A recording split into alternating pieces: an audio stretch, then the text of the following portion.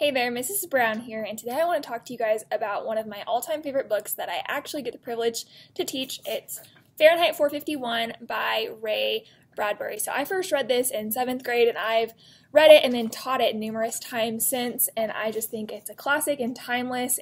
So, Fahrenheit 451 takes place in a futuristic society. Some may say like today's day and age, Ray Bradbury wrote it back in the 50s. The main character's name is Guy Montag, and he is a firefighter, but not a firefighter like you may think.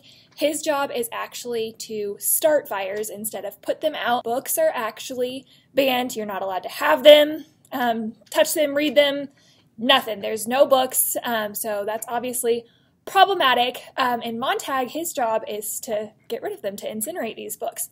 So he goes about his business doing that until one day he meets a 17 year old girl named Clarisse McClellan, and she totally shakes up his world. She goes for walks outside every day and actually pays attention to the, to the sky and to the grass and does more than just robotically move about her life. So that sends Montag for a whirlwind of a ride in the book Fahrenheit 451. Will he continue to be a firefighter? Will he take off the hat and do something else? You'll have to read the book to find out.